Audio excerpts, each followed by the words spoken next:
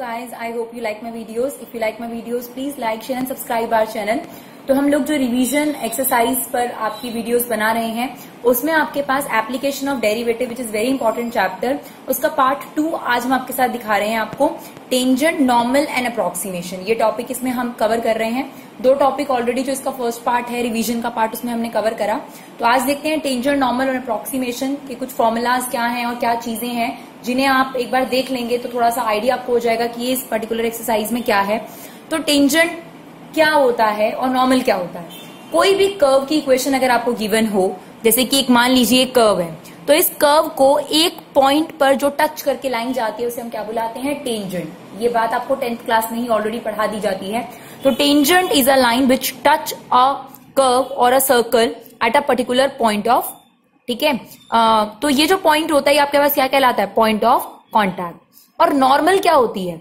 उस tangent line पर जो प्रपेंडिकुलर लाइन ड्रॉ करी जाती है, उस लाइन को हम लोग बुलाते हैं नॉर्मल तो इस पर्टिकुलर एक्सरसाइज में आपसे क्या कहा गया कि उस टेंजेंट की इक्वेशन और उस टेंजेंट के ऊपर जो आपके पास नॉर्मल बना है, वो लाइन जो टेंजेंट पर प्रपेंडिकुलर है बेसिकली उसकी इक्वेशन बनाकर दिखाइए. और डेरिवेटिव में इसका क्या यूज़ है? डेरिवेटिव में इसका ये यूज़ है कि जो स्लोप होती है किसी भी लाइन की वो D Y by D X से निकाली जाती है। आपने straight line chapter eleventh class में पढ़ा था तो आपने स्लोप के दो तरीके वहाँ पढ़े थे, एक टेन थीटा और अगर दो पॉइंट्स गिवन हो लाइन के तो Y two minus Y one upon X two minus X one इसके अलावा आपके पास अगर किसी लाइन की स्लोप निकालनी हो तो बेस्ट वे यही होता है D Y by D X right तो आपके पास इक्वेशन ऑफ़ टेंशन का क्या फॉर्मूला होता है? Y minus Y one equal to M X minus X one जहाँ पर एम उस लाइन की स्लोप होती है, जो कि D Y by D X या फिर एफ़ डैश एक्स कुछ भी आप बोल सकते हैं। जो आपको करना ही है इस चैप्टर के अंदर एप्लीकेशन ऑफ़ डेरिवेटिव में। फिर आता है एक्स वन वाई वन क्या होगा? जो पॉइंट ऑफ़ कॉन्टैक्ट होता है, यही आपके पास एक्स वन वाई वन होता है डियर तो यहाँ पर आप वाई वन और एक्स वन की वैल्यू डालेंगे स्लोप की वैल्यू डालेंगे, आपके पास इक्वेशन आ जाएगी टेंजेंट की। फिर बारी आती है इक्वेशन ऑफ़ नॉर्मल की। तो y minus Y one point of contact तो इसमें भी सेम है। तो y माइनस वाई वन सिर्फ़, क्योंकि ये दोनों लाइन एक दूसरे पर परपेंडिकुलर हैं तो आप लोग जानते हैं कि अगर दो लाइन परपेंडिकुलर होती हैं तो उनके स्लोप का मल्टीपल माइनस वन के इक्वल होता है। तो जो नॉर्मल की स्लोप होगी, वो टेंजेंट की स्लोप का reciprocal as well as sign change करके आएगी। फॉर एग्ज़ाम्पल अगर टेंजेंट की स्लोप टू है तो नॉर्मल की स्लोप वन बाय टू होगी। अगर टेंजेंट की स्लोप टू बाय थ्री है माइनस टू बाय थ्री तो नॉर्मल की स्लोप थ्री बाय टू होगी। तो equation Y minus Y one equal to minus one upon M X minus X one तो that is equation of tangent and that is equation of normal अब जो सबसे ज़्यादा problem आती है इस पर्टिकुलर एक्सरसाइज में वो यही होती है कि डिफरेंट डिफरेंट केसेस देता है स्लोप के। तो सबसे इंपॉर्टेंट तो आप जानते हो कि डीवाई बाई डी एक्स तो निकालना ही है फ़ंक्शन गिवन होगा। अब वो कहेगा स्लोप इक्वल है एक ऐसी लाइन के जिसके दो पॉइंट्स आपको गिवन है पैरल है। जो टेंजेंट है, वो आपके पास पैरल है एक लाइन के और उस लाइन के दो पॉइंट्स दे देगा। तो अगर दो लाइंस पैरल होती हैं तो उनकी स्लोप क्या होती है? इक्वल तो अगर आपको D Y by D X जो कि आपने निकाल लिया होगा, उसको इक्वेट करना होगा तो उसके लिए आपको उन दो पॉइंट से पहले स्लोप निकालनी पड़ेगी and the formula is Y two minus Y one upon X two minus X one right तो इससे भी आपके पास स्लोप निकल आती है। और टेन थीटा भी एक तरीका है जिससे आप स्लोप निकाल सकते हैं। तो दो लाइंस पैरेलल होंगी तो स्लोप इक्वल यानी अगर टेंजेंट किसी लाइन के पैरेलल है तो पहले आपको उस लाइन की स्लोप निकालनी पड़ेगी। तो कभी कभी वो उस लाइन की इक्वेशन भी दे देता है।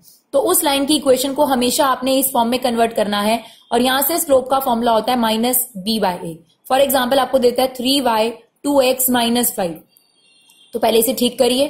Two X plus three Y minus five equal to zero तो स्लोप क्या होगी? माइनस बी बी की वैल्यू क्या है यहाँ पर? थ्री और ए की वैल्यू टू तो इससे आप स्लोप निकाल पाएँगे। That is minus three by two तो उसे आप फिर बाद में इक्वेट कर सकते हैं। तो when two lines are parallel M one M two के इक्वल होगी।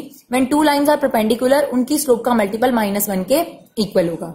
और एक और खास बात, अगर कोई लाइन या फिर टेंजेंट एक्स एक्सेस के पैरल होगा डियर अब देखिए, अगर कोई लाइन इस तरीके से है तो उसमें स्टीपनेस तो कुछ है ही नहीं। और स्टीपनेस ना होने का मतलब स्लोप क्या हो गई आपके पास? ज़ीरो तो यहाँ पर स्लोप हो जाती है ज़ीरो अगर कोई भी लाइन या टेंजेंट एक्स एक्सेस के पैरल है। ऑन द अदर हैंड अगर कोई भी लाइन वाई एक्सेस के पैरल है तो वो हंड्रेड परसेंट स्टीप है आपके पास। तो ऐसे केस में स्लोप हो जाती है इन्फिनिटी जिसे हम यहाँ पर वन अपॉन ज़ीरो लिखते हैं राइट right? जिसकी मदद से भी आपके कुछ क्वेश्चन सॉल्व होते हैं।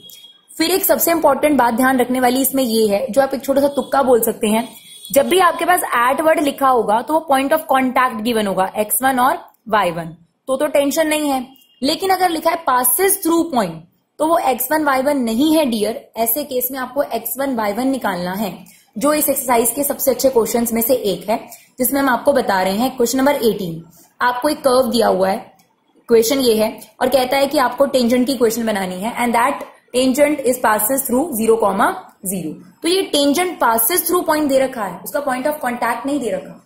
तो हमें पॉइंट ऑफ़ कॉन्टैक्ट यहाँ निकालना है और अभी हमने लेट कर लिया point of contact H comma K तो पहले स्लोप तो निकाल लें D Y by D X that is twelve X square minus ten X की पावर फोर अब कभी भी स्लोप जो है वो वेरिएबल में नहीं होनी चाहिए। तो यहाँ पर अपना पॉइंट ऑफ़ कॉन्टैक्ट रख देते हैं एक्स की वैल्यू एच है। तो ये हमारे पास D Y by D X आ गया इस पॉइंट ऑफ़ कॉन्टैक्ट पर। तो ये स्लोप आ गई हमारे पास। अब जो ये पॉइंट है, ये इस कर्व पर भी लाई करता है राइट तो अगर इसे लाई करता है तो इसे सेटिस्फाई करेगा।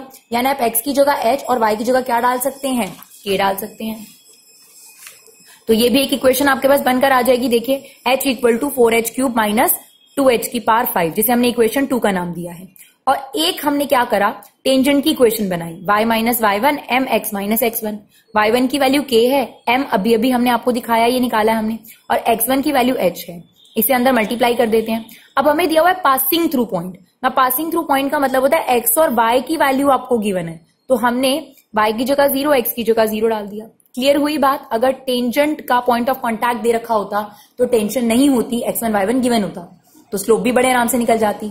लेकिन यहाँ पर आपको पासिंग थ्रू पॉइंट दे रखा है which is X comma Y naught X one Y one तो हमने वाई की जगह ज़ीरो एक्स की जगह ज़ीरो ये हमने आपको एक्सरसाइज में भी समझा रखा है, वहाँ से भी दोबारा देख सकते हैं। इसे मल्टीप्लाई कर दिया माइनस कॉमन लेके काट दिया तो के और एच में एक और इक्वेशन आपके पास बन गई। ये भी बना चुके थे हम, ये भी बना चुके थे। ये टेंजेंट की इक्वेशन से आई, और ये किससे आई? जो एच कॉमा के है, वो कर्व पर भी लाई करता है, उससे आई।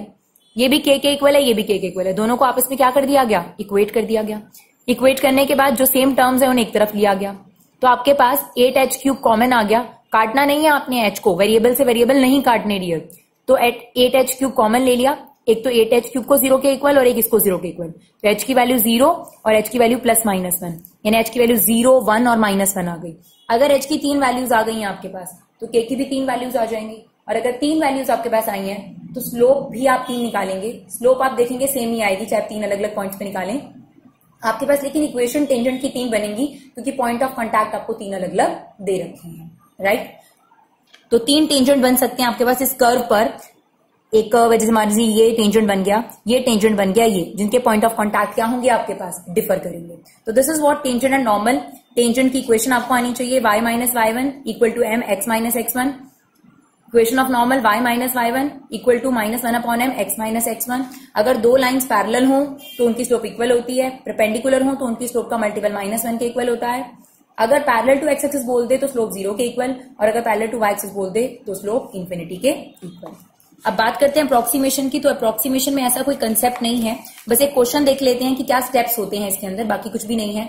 तो आपके पास जो भी क्वेश्चन गिवन होगा, आप उसे हमेशा लेट करेंगे वाई प्लस डेल्टा वाई और उसे इस तरीके से प्रेजेंट करेंगे एक्स प्लस डेल्टा एक्स अगर उसकी पावर हाफ़ है तो हाफ़ लगा देंगे. वन बाय थ्री है तो वन बाय थ्री लगा देंगे. वन बाय फोर है तो one by four and so on right फिर जब आपका सबसे पहला स्टेप होगा, उसमें आप सबसे पहले वाई निकालेंगे और फिर डेल्टा वाई निकालेंगे. और वाई प्लस डेल्टा वाई कर कर आपको उस अप्रोक्सीमेशन का क्या मिल जाएगा? आंसर तो एक एग्ज़ाम्पल देखते हैं, उससे शायद क्लियर हो जाएगा. ये हमने एग्ज़ाम्पल लिया.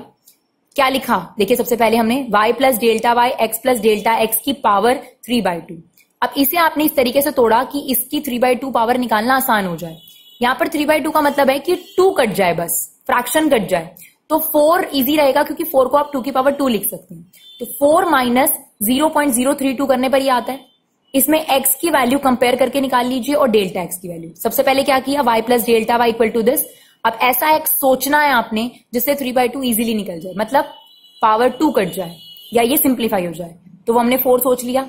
एक्स निकाल लिया डेल्टा एक्स अब आपका स्टेप वन होगा वाई निकालना और स्टेप टू होगा डेल्टा वाई वाई मतलब एक्स की पावर थ्री बाय टू अगर यहाँ वन बाय टू होता तो एक्स की power one by two one by ten होता तो एक्स की power one by ten right X की वैल्यू आपके पास फोर है।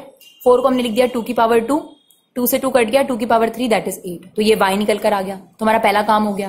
फिर डेल्टा वाई डेल्टा वाई को हमने लिखा D Y by D X into delta X ये एक ही बात है dear delta Y upon delta X delta का मतलब भी चेंज ही होता है। एक ही बात तो है, बस डेल्टा एक्स को हम यहाँ लेकर। बेसिकली दीज आर इक्विवेलेंट अब D Y by D X मतलब आपको डेरिवेटिव लेना है। और डेरिवेटिव कांस्टेंट का नहीं लेता था वेरिएबल का। तो ये रहा आपके पास वाई फ़ंक्शन इसका डेरिवेटिव ले लीजिए। थ्री बाई टू आगे आ जाएगा एक्स की power three by two minus one half आ जाएगी। और डेल्टा एक्स की वैल्यू ये रही आपके पास। अब डेरिवेटिव लेने के बाद आप एक्स की वैल्यू डाल दीजिए विच इज़ फोर फोर को हम लिख देंगे टू की पावर टू और हाफ़ कट जाएगा। इसे सिंप्लीफाई कर लिया, हमारे पास ये आंसर आ गया। तो y का आंसर भी आ जाएगा डेल्टा y का। और y प्लस डेल्टा y कर कर आपके पास जो आपको क्वेश्चन गिवन था, उसका अप्रोक्सीमेट आंसर आ जाएगा which is seven point nine zero four thank you so much guys for your love and support keep supporting your classes